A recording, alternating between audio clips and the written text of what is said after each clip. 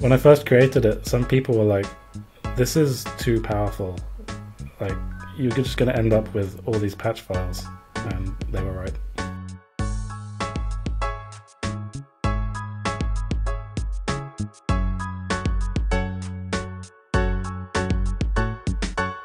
Hello, welcome to the DevTools FM podcast. This is a podcast about developer tools and the people who make them. I'm Andrew Lisowski, and this is my co host, Justin.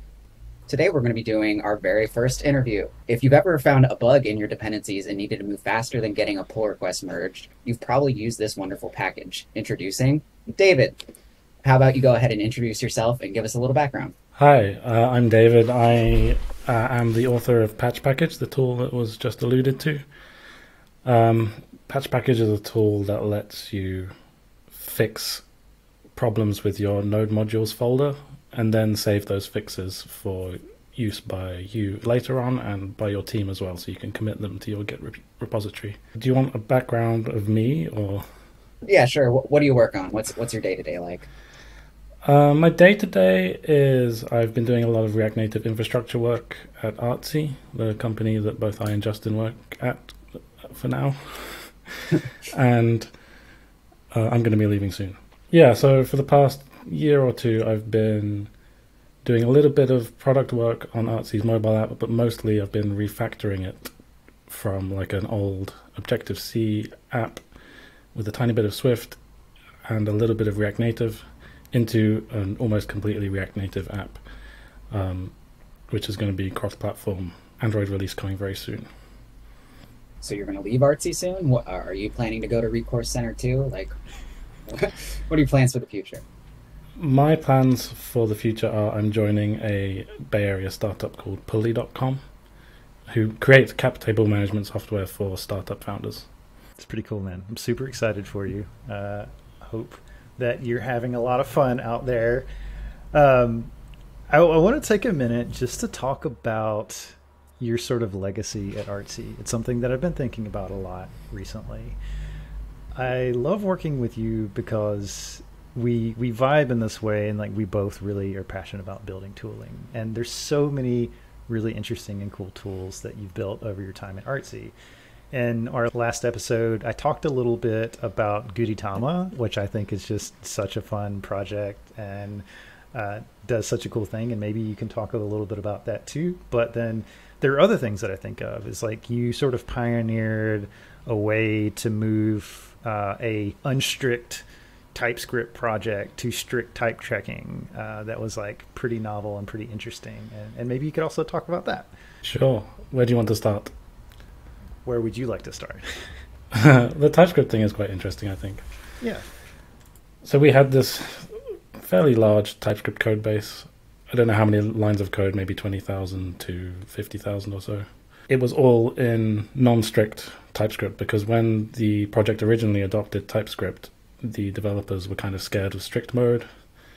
They they thought it would hurt velocity, which to be fair, it probably would have because most of them had not done work with TypeScript before.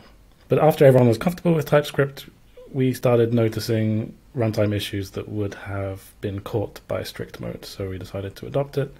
And the way we, that we did that was we turned the flag on and then everywhere that an error popped up, we added a TS ignore comment, which basically tells TypeScript to ignore any errors on the following line. And I set up some tooling around those comments so that we could count how many there are. If the number increases because people are copying and pasting code, the CI checks will fail and developers will be told, hey, uh, you're creating extra TS ignore comments that shouldn't be there. And these TS ignore comments are, are kind of tagged with a particular strictness migration tag. And I was hoping to kind of gamify this somehow and add like monthly stats to show how many of these comments had been removed by people because the idea was to gradually remove them over time as you refactor code and fix little things. Uh, that didn't pan out, but they have gradually decreased over time, and the code base is in a much better place now than it was before the strictness was switched on. So it worked. How many comments did you start out at? It was, I think, about a thousand, maybe even more than that. Did you do it like automatically, or was that someone manually going through and adding TS ignore a thousand times? Yes, I wrote a little script to add the ignore comments, but it wasn't very um, precise because it's it's surprising the number of contexts in which one of these errors can occur, like in a JSX expression. So there's certain syntactical structures where just putting a comment above the line doesn't work. So I wrote a really dumb thing which just puts a comment above the line, and then I went through all of them manually and checked whether they were actually valid and re- fixed the ones that weren't.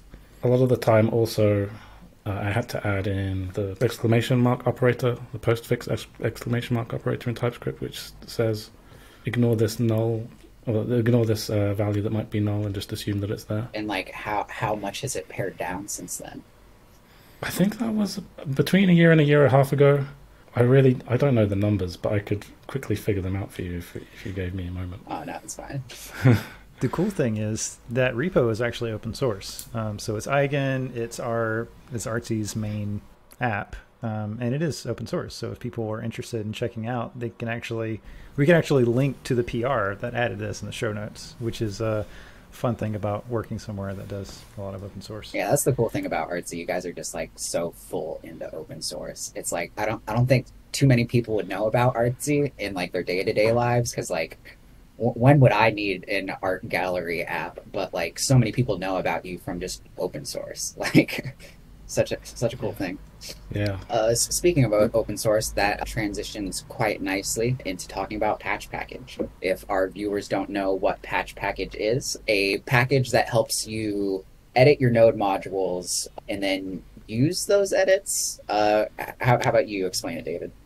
Yeah, so if you have a problem in one of your node modules, let's say um,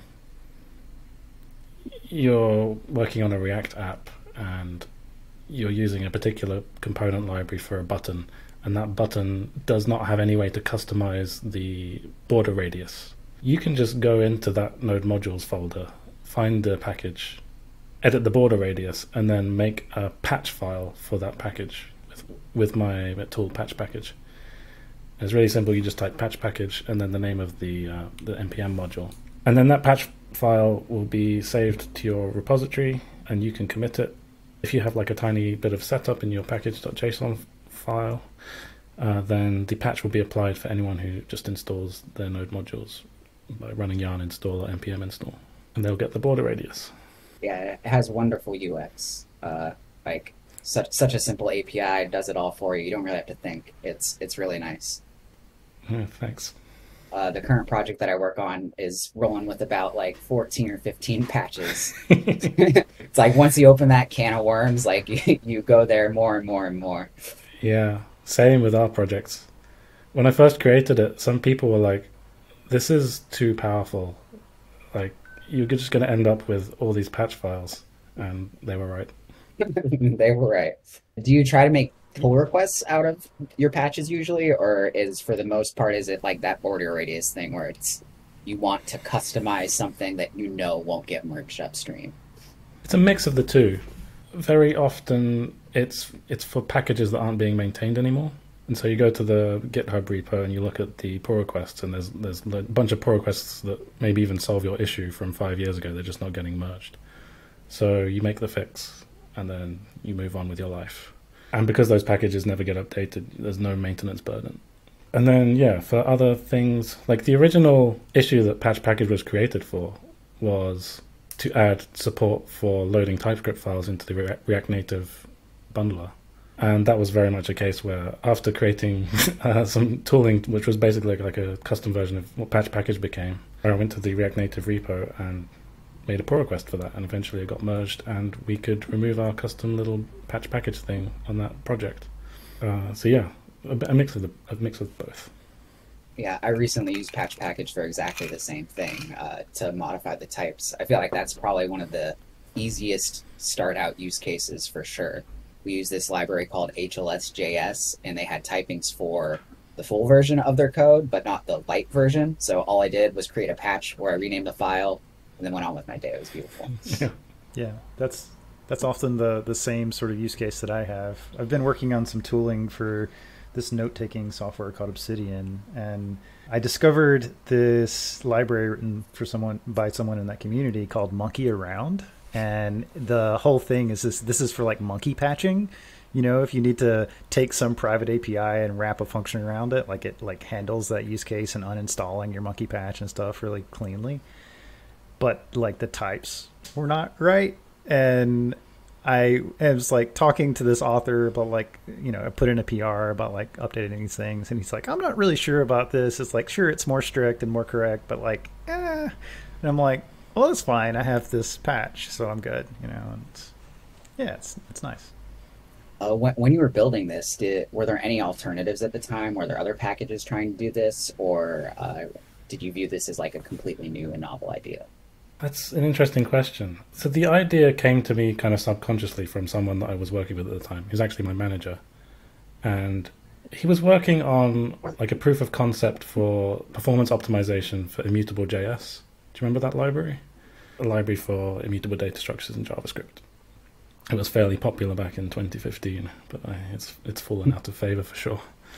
And he published his kind of research as a npm project where he had to make a change to the internals of immutable JS in order for his kind of other code to make sense and like his performance measurement code to work. And he did that by creating a patch file for the node modules folder. And I just kind of saw that and assumed that that's what everyone does when they want to change what's in the node modules folder. He had like a bit in his README that says run git apply patch file, and it worked. So I just kind of absorbed that, and then it was like a year later when I had this problem with React Native and I wanted to add TypeScript support. So yeah, it's I, I didn't find any other tools that did something similar. There was one I think which was for applying patches to package folders. I can't remember what it was called, but it, it just wasn't the same thing. It didn't have anywhere near the level of UX. Didn't even seem to be used by anyone. So yeah, I think it was novel at the time. I've definitely seen that uh, pattern of applying patches to something to make your code work in the wild. I contribute to a package called Package, where it'll take a Node application and then bundle it into an executable for different platforms. And then the way that it actually does that is by applying patches to the C code for the Node.js driver. And let me tell you that maintaining that is is crazy. like the amount of knowledge you have to have to be able to modify Node.js to do this whole other thing is is just mind blowing. Yeah, that sounds insane. It it is. Yeah. I, I definitely got into trying to contribute to that project a little bit before I looked at the code, and then I saw that in the code, and it was like, well, I'm way out of my depth here. Have, haven't written C like code in quite quite a while. And that's how we learn. yeah, yeah. I also had the idea to try to create a instead of a patch package, a patch pull request, but uh, that has lots and lots of hurdles that are hard to deal with. what would that do? So like it just like the idea of like I just want to edit my node modules and get a patch and then the next step is oh I just want to edit my node modules and get a patch and then also open a pull request with that. But uh, you guys can see where the natural hurdles come in. Lots of lots of compiling in the JavaScript community doesn't make that bit easy. Yeah, no, it's really difficult. That came up a bunch of times in the patch package uh, issues. People were suggesting that as a feature. And every time I was like, oh, I really want to figure out a way to do this. Even even if it only works for like 30% of packages, but there's beyond the fact that packages are compiled for the most part in the JavaScript ecosystem. Um, there's like auth issues and other stuff that just makes it really tricky to do the only way I could think of doing it is like source maps, but like that sounds that sounds a, like a hell I don't want to put myself through. you don't.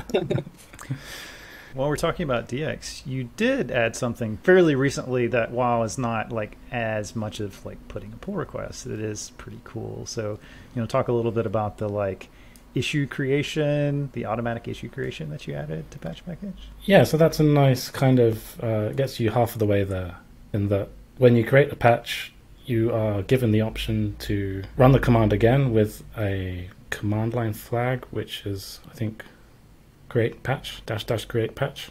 And, sorry, no, dash dash create issue. And what that will do is open a browser tab with the contents of the patch that you created encoded as uh, a query parameter in the URL, which GitHub will then use as the issue body. So it opens an issue with the body already pre-filled that says something like, "Hi, thanks for making this project. Uh, I ran into an issue, and this patch fixed the problem for me." And it lists the patch in a rich diff format. This is, this got a lot of attention when it was first announced, and people have been using it a lot as well. I haven't looked at the issue lately, but I made an issue where that is linked back to by the um, the template issue. So like most of the time when people create these issues from Patch Package, they are indexed on this one issue on the Patch Package GitHub repo, and you can see all the times people have found it helpful. I thought that was some clever telemetry for that feature. Yeah, I have. I think Fred K. Schott on Twitter to thank for that suggestion. There was another thing that I was thinking about recently that sort of like ties into this idea of like well more about like it's more i guess it's more about maintaining patches because it, as you get into a project and you're like patching a bunch of dependencies sometimes it, you can forget why you patch dependencies. And i'm pretty sure that you have some recommendations in the patch package repository to say essentially hey like add some comments to this section of code to say why you did the thing. Um, and and I've been like bouncing around my head sort of semi recently because I'm I'm doing a few more patches is like is this the thing that we could sort of like make a little bit more of a guided experience on? And what would that look like? It's still not an easy thing right? Because you don't know where you're making the patch and what the semantics are. And like there's there's a lot of like in order to automatically add a comment and i think this this ties back to the, the TypeScript things that you're doing, right? Like in order to add a comment, you need to know is a comment valid. Generally, when we're talking about like the things that you're patching in source, it's usually not a TSX file or a JSX file, right? It's something that's already transpiled. But it could be. It could be. You don't know. Any anybody can ship anything. Node modules, really. Um, but anyway, a fun thought. I discovered recently that React Native will actually load TypeScript source files for you these days, and like I forget which libraries it is, but one of the cool cool stack libraries is shipped with TypeScript that gets loaded at dev time, which blew my mind. Yeah, it's a, it's a wild world out there. so, how did you get your start in open source? Was Patch Package your first foray into it, or were there earlier attempts? I had one fairly, two fairly successful projects before that.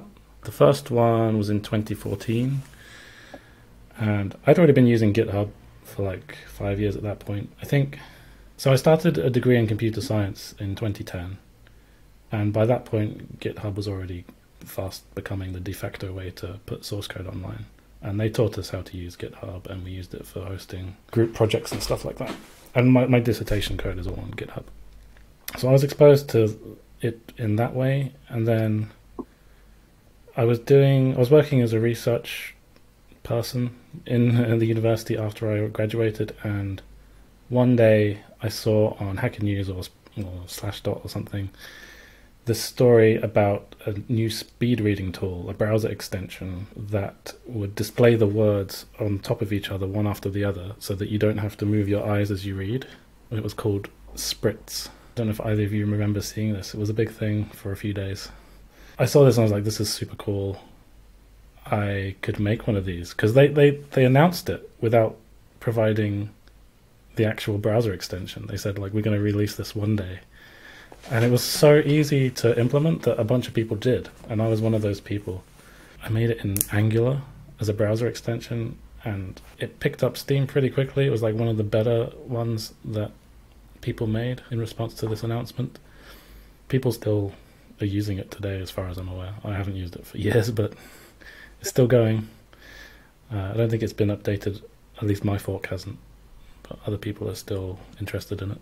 And that's called Jetzt, J E T Z T. It's a German word which means now. And then after that, well, I was also still working as a researcher because in academia you have a lot of spare time if you want.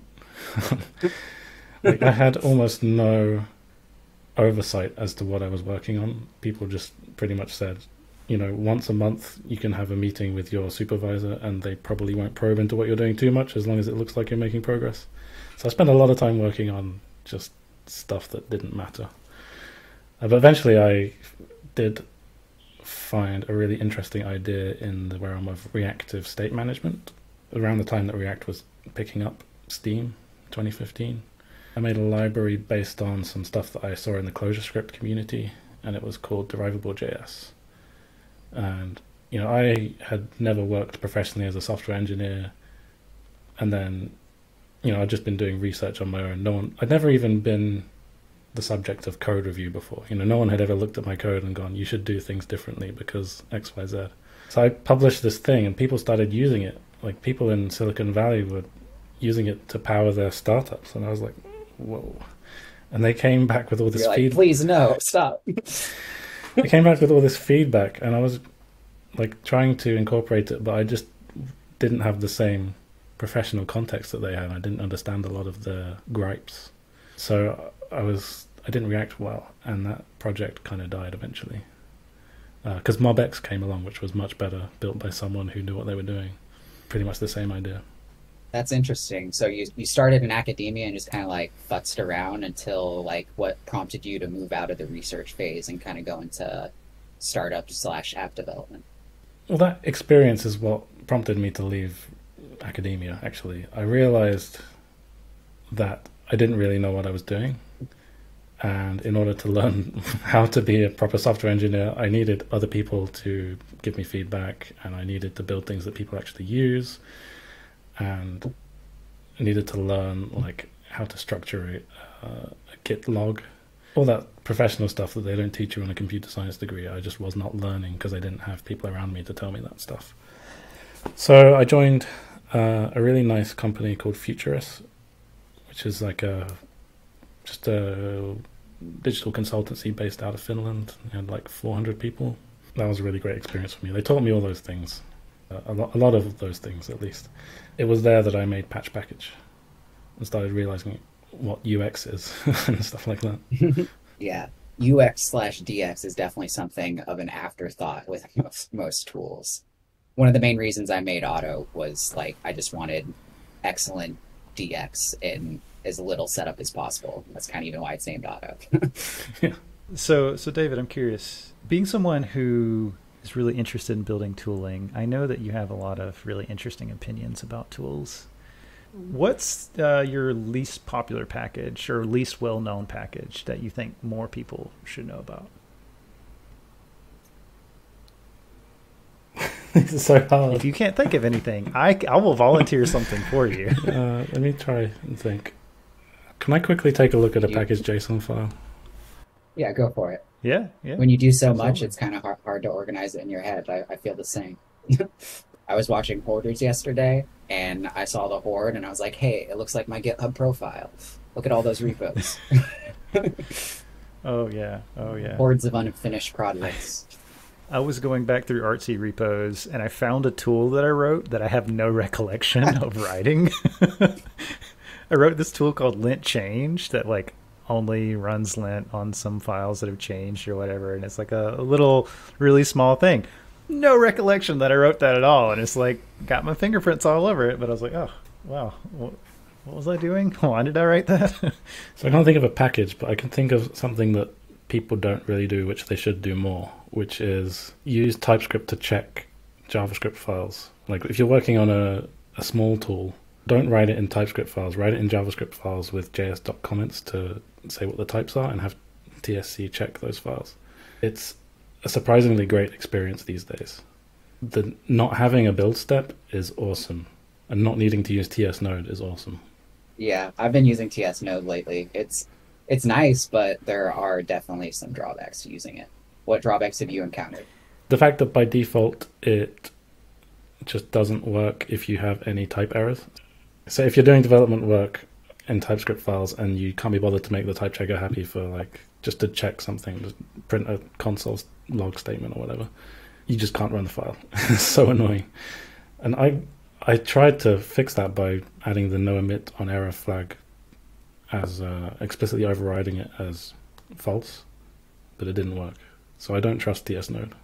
I have an alternative for both of you if you're interested in doing this thing. So there's somebody I've followed for a while uh, that does a lot of, or at least did a lot of work in the Vue community. If you've ever heard of Egoist on GitHub or Twitter, just this developer who just like is insanely productive and just like writes like a new tool every week. It seems like, and it's it's it's uh, crazy.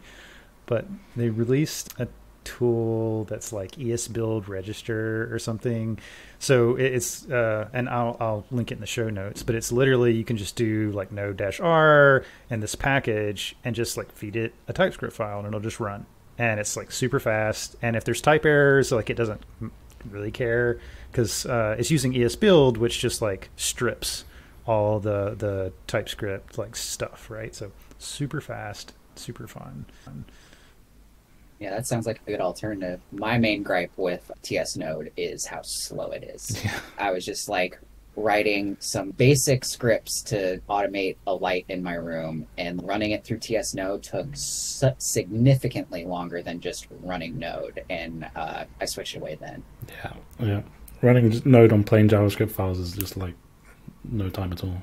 Yeah, lightning quick. Mm. I, I don't know how like Deno deals with it because since they bake the TypeScript compiler in, it seems like that's not something you'd want to do because the TypeScript compiler in no way performant. It's not built to be performant. Right. I think that's actually been a huge problem for them, and they are trying to re-implement the TypeScript compiler in Rust, I believe. Which is like, why? That's so- oh my god! It's such a huge project. You're gonna top Anders? Yeah. Best of luck to them. Deno's awesome. Yeah, that doesn't sound like a problem I'd want to solve. I could be completely wrong about that. Just compile it to WebAssembly and hope for the best. Uh, no, I think I think you're actually right. It was a few months back that the issue came up on Twitter, and people were talking about how how Deno wants to rip TypeScript out. I still haven't used Deno myself. Have you? No, I haven't. It's, it's really good. Orta had posted a tweet a little while back about talking about he was using it for local scripts. And I had a need to do this. Like I had a one-off local script to reformat a bunch of markdown files, and I was like, I don't really want to set up a whole node project for this, so I just wrote a little Deno script. And it's nice because it's like you have this one script and you run it and you give it explicit permissions and it just downloads the dependencies for the URL and runs them and there's no node modules and I don't know, it feels good. It's kind of fun. Yeah, the the node modules decisions that that seems like one of the bigger contentious points about Deno. I don't know how much I trust a URL. I don't know about you guys. I mean, if you can append a, a checksum to the end of the URL, then it's fine. But otherwise, it's like, how do you know you're getting the same code every time? Yeah, that's one issue. My big issue is like, what what if that file goes away? It seems the the internet is not very very static. Links from ten years ago, I'd be surprised if they work today. Hmm. It just seems like a path to go down where your code will probably break someday because the files just aren't there anymore. A common problem in today's tech. Same thing with NFTs. Yeah, you buy an NFT and it's just got a URL encoded in it, and then that URL no longer exists. Yeah, that's the craziest thing ab- about NFTs to me. Like, I, I don't think anybody past a developer really understands the, the point that your art isn't stored on the blockchain. I think a lot of people think that. I didn't realize that. I thought you could actually encode like a JPEG as, as a string on the blockchain. Uh, no? It'd be way too big and way too expensive. Oh. So, what they do instead is it's really a house of cards that's going to fall and it's going to cost a lot of people a lot of money. So, you know, like Rarible or one of those websites that sells NFTs, what they'll typically do is they'll host the content for your NFT on IPFS, uh, which is kind of okay. But instead of redirecting directly to IPFS, they put a layer in between where you like go to Rarible and then you go to IPFS to get the file. So in reality, it's it's not decentralized at all. It's still centralized heavily on wherever you bought your NFT. If that place goes out of business, your NFT goes away basically. And then IPFS, I feel like, is a whole nother issue because it's like someone has to pay for that to be there all the time, and that's not. That's like I feel a lot of people hear crypto art and they're like, "Oh shit, art that's forever." That makes total sense, but that's not what the reality at all. I guess the same is true of the blockchain itself. Like if people just turn off their computers, it goes away. Yeah, it's it's fun to tell people about a fifty one percent attack that that don't know how any of it works. And they're like, that that's possible. Shall we go to our tooltips? Yeah, let's let's do so. Uh, let's do the same thing as last week, where we just kind of like hop back and forth, sharing a tooltip each. I'll go first. So at my new job, I've been setting up a lot of build automation and developer tooling for the app we develop. And the thing I've been focusing on this week is bundle size statistics. In the past, I've built and used a bunch of different tools that help me do this to varying degrees of success. In Design System CLI, I even built a command that'll install the currently published package that you're testing and then run it through Webpack and compare that against whatever's up in your PR so you can see diff statistics. That's nice, but it's also super slow. We used it in our design system and we have 70 components. So running yarn to install the published version 70 times, you can imagine that's going to be really, really slow. Then another problem with just running it on pull request is that you don't have those results stored anywhere. And if you want to store them somewhere, you might make a uh, size changelog markdown file. We did that for our design system. That kind of introduces more overhead and more things that your automated release process is doing. So the tool that I found to actually alleviate this is a tool called Relative CI, and it does all of that. It, all it is is a Webpack plugin. You put the Webpack plugin in your config, you expose an environment variable, and it uploads all the stats to Relative CI and shows you a lot of nice visuals to help debug and see what's actually in your bundle. And since it's a separate service, you can easily compare against builds and see where those regressions happen instead of having to like go back through your repositories PRs or this change log for your size. And it's been a lot nicer of an experience. Nice. How how does it index the stats? Does it use Git hashes? When it shows you a build, it'll show the PR, the commit that it was run on, and all of that. Okay. Uh, and it uses the Webpack stats to do it all. And the creator of it is super responsive. I've been DMing him on Twitter and helping fix a few little issues. Everything help you like keep track of everything over time. Nice, nice. Yeah, it has a dashboard, all that. It's super cheap right now. The amount of work it saves you is, I'd say, like a good amount, and it's only fifteen dollars a month for a team. So, like in terms of SaaS, that's almost nothing to pay. Charge more for your software. This is a lesson, everybody. Definitely put that enterprise option. Don't list a price. Just say contact us. That, that that's the way to go with your SaaS. Sure. How much can you pay? How much do you got? Only you will find out. Oh. Okay, Justin, you're up next. So uh, I'm going to share two things uh, really quick, and they're they're related. Um, so I, I don't remember if I found this on GitHub or Twitter or what, but I found this uh, awesome repo. So if you're not familiar with awesome repos, there's a ton of them on GitHub. That's just awesome something, right? this one is JS tooling, not in JS. So it's things like all this really interesting tooling that's like written in Rust or Go or something like that. So ESBuild, a great example of this, right? Super fast transpiler, but it's written in Go. One of the things that I discovered in that was this project called Paperclip. It's the website's paperclip.dev if you want to check it out, and it's incredibly fascinating. So the premise behind Paperclip is that you are building uh, UI visual only components, but it gives you this like Figma like art workflow and this sort of like subset of or uh, this like superset of HTML to sort of define it. So you define like in your sort of HTML document for this component like uh, an artboard kind of. And you can put your HTML, your CSS, and, and define, oh, yeah, I'd have these kind of props and like this kind of stuff. And there's a build process written in Rust that'll go through and take that file, that visual component, and transfer it or convert it into a regular component for React. Uh, right now, it's their target, but like eventually for Svelte or for Vue or for you know whatever framework that you want. So it takes this inversion of control principle where like you just want your visual components to really focus on just being visual. Like this is this is your display only. Try to get as much state and stuff out of this display mode as you can. It makes that like first class. Gives you really a really great development experience. That's very fast uh, because it's all native, and then sort of converts to whatever environment you want.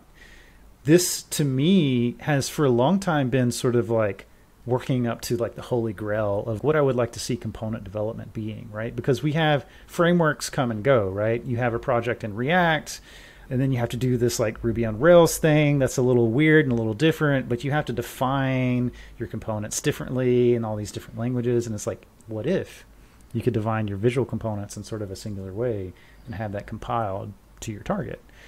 Things like Svelte uh, and and Vue.js is doing this these days, gives you a template that kind of like kind of does that, and you kind of have some flexibility. Arguably, even React, you can write your own reconciler, right, and like have it render to something like React Native. We're already seeing these technologies really take off, but this is the first time that I've seen something exactly like this. So they like we're going to focus on just what it means to build a visual component. We're going to let you compile it to what you want. We'll give you a really great development experience, a really great editing experience I'm super excited about it. It looks really cool. Still in the early days, but yeah, that's my tooltip. David, what about you? So, like I alluded to earlier, I'm not really that on the ball when it comes to like interesting dev tools and stuff.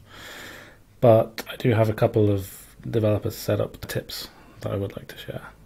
One is remap caps lock to escape.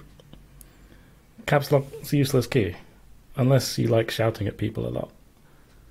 So turn it into something more useful, and I think that the best thing for that is escape.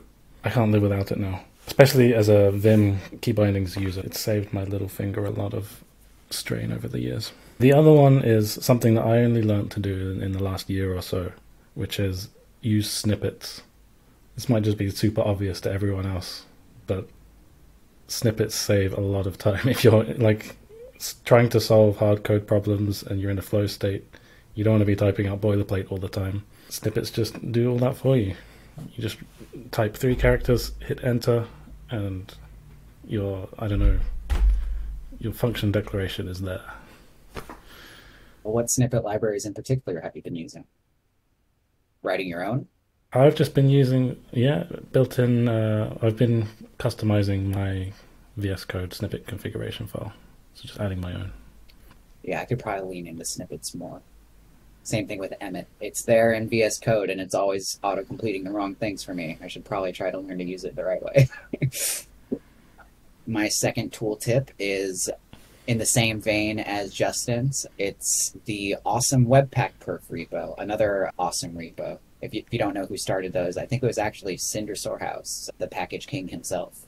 But the one I'm mentioning, awesome Webpack perf, is every tool that you could possibly want to use to debug your Webpack problems and see where your bundles are splitting and all of that. I usually go to my two main ones, which are Webpack Bundle Analyzer, which has a really nice UI for seeing how your bundle splits up. And then another more classic one that I've used a lot in the pack is Webpack Analyse with instead of a Z has an S. And I think that's like five years old at this point, super old, but it allows you to like comb through all the modules and the assets and how they depend on each other. And it says Harmony import specifier a lot, so you can know how they actually got into your bundle. But the one tool that I think is kind of in a class of its own, even on the README, there's no competitors to it, is the Speed Measure Webpack plugin. And this is an awesome plugin if you're trying to speed up your Webpack builds, uh, particularly for dev mode it's just an easy plugin, no config. You put it in your file, and it will show you which loaders and which plugins took the most amount of time while Webpack was running, so you can optimize them away. Say if you're using Terser in development mode, it might be adding 30 seconds to your startup time, and this plugin will show you outright that hey, 30 seconds of your time is spent waiting for Terser. And then you can use that information and turn Terser off in your development build. So that's a great plugin if you haven't ever heard of it. I've got I've got one more for today. One of the projects that I'm going to be working on at Recurse Center is building my own keyboard. from scratch. And I'm making a lot of really interesting decisions in this process. I'm using a Raspberry Pi to control my keyboard software, a Raspberry Pi Zero in particular. Um, and I have a lot of interesting reasons that I won't get into now on why I'm making the decision. But I'm using this project called Nerves to power the software. And Nerves is this embedded uh, framework for Elixir for like building IoT devices. Has a lot of really interesting ramifications. Uh, I, I definitely like recommend you check it out. I'm about to unpack a whole lot of stuff in a really short time, so I'm really sorry. If you have not really heard of Elixir or Phoenix or anything in that uh, in that ecosystem, Elixir is this functional programming language that's built on Erlang, which is uh, a language that's just existed for a long time. Erlang handles like async operations really well. It has a really good story around that. And because it ha- handles async operations so well, uh, the Elixir community has designed this thing uh, called Phoenix Live View. So Phoenix is their web framework, sort of like Ruby on Rails, like Rails is to Ruby, uh, Phoenix is to is to Elixir. So there's this thing called Live View, which is like think React, but all your server or all, all your server, all your state is on the server instead of on the client. So your React component state, imagine that just all living on the server in this little tiny thread like processes, right? So that's what Live View gives you. And there's this project that they released recently called Live Book.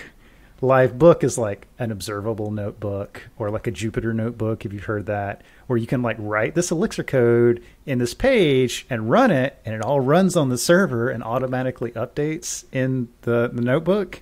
All right, so I'm about to complete my tapestry here. so I ran across this. Yeah, how does Yeah. this get back to keyboards? Well, I ran across this project called Nerves Livebook. So what this allows you to do is have like a Raspberry Pi or a BeagleBone or something, this piece of hardware that's running this embedded firmware that you can serve this like live notebook to write some Elixir code that on the fly updates your firmware to do things like turn on an LED or play a sound or like whatever you want, right? To drive your firmware. So it's like it's sort of like the holy grail of like a hardware development because normally if you're doing an embedded project, you have to like flash your program onto this thing and like you know compile everything and it's like this really slow process but now you can hit a button on a web page and it will like give you some results and do things in your hardware blows my mind and i'm incredibly excited to play around with it more thanks for bearing with me for that long tell i'm done now and so you want to use this li- Nerves Livebook thing to update the firmware on your Raspberry Pi for your custom. Yeah, yeah, keyboard, yeah. So right? I'm I'm designing a split keyboard, and one of the things that I do is like on the offhand, I'm gonna have like a little microcontroller that's like controlling, like saying, "Hey, this button was pressed," um, and there's a this like communication protocol in the embedded world called I squared C. It's just like how microcontrollers can communicate to each other. So I need to write that code and test it over I squared C. So what I'm going to do is write all of that in this live Livebook, like write my sort of uh, interface to that code in this Livebook. So I'm going to be able to like dynamically on the fly test that this thing does what I expect it to do. That's going to be amazing. Like I'm super excited. David, did you have anything else you wanted to mention? I had one other kind of dev setup tip, which is use save after delay. So it's usually an option in your editor that saves the file after you know, you're like you've finished writing, usually like one second or so after. I've paired a lot with people who don't have this setting, and it wastes a lot of their time. Like debugging a thing in in like maybe you're working on a website and you're looking at the web page and you're like, why isn't this working? And then you go back to the editor, it's like, oh, I forgot to save that file. I've seen that a lot. So I think turn on save after delay and save yourself trouble. That's a good one. I, I don't have that one turned on. I think it also prevents RSI issues with hitting Command S all the Yeah. time. I uh, I turned off auto formatting in my editor, like format on save, and I am constantly typing Command Shift P, typing faux, and then hitting enter to format my code. Hopefully, I don't get RSI from that.